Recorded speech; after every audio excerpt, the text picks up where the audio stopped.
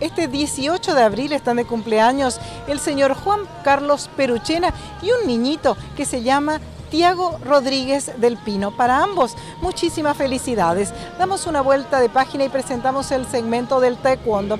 Le preguntamos al máster Jorge de Marchi sobre la próxima visita de Juan Guanzún en Corrientes.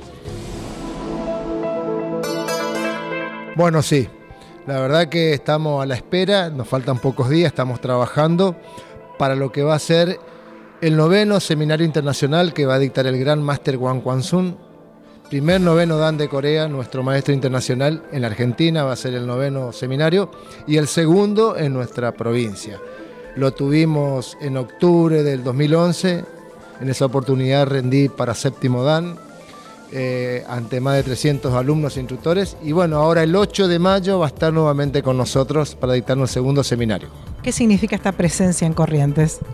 Y mira, yo tengo, en lo, personal, yo tengo dos grandes experiencias en mi vida. Cuando rendí para Cuarto Dan, que lo vendí en, el año 96 en San Miguel de Tucumán, eh, lo vendí con el general Choi Hong-hee, el creador del taekwondo, que todavía vivía, y con su hijo, eh, Master Choi Jong-hwa.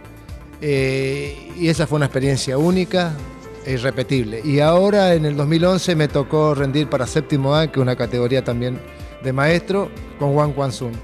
Y bueno, y tenerlo casi cinco años después, de nuevamente acá, este, presente en nuestra ciudad, en nuestra provincia, compartiendo el taekwondo con él, aprendiendo, corrigiendo, este, viendo lo que él es con más de 80 años para todos nosotros, que es un ejemplo de vida para muchos jóvenes y para todos los que estamos activos en el taekwondo, eh, sin palabras.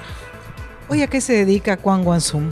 a recorrer el mundo como lo hacía su maestro, el, creador del taekwondo, General Chi recorre el mundo enseñando taekwondo y llevando un mensaje de paz y amistad por el mundo. Hay una grilla de, que ya está eh, publicada en todas las redes sociales, que Wang Wansun arranca el 8 de mayo en Corriente y hasta julio todos los fines de semana recorre el mundo, eh, de los cinco eh, ciudades de, los cinco continentes, va a estar en Australia, en Sudáfrica, en Estados Unidos, en Inglaterra, en Polonia y en Argentina, pero en Corrientes.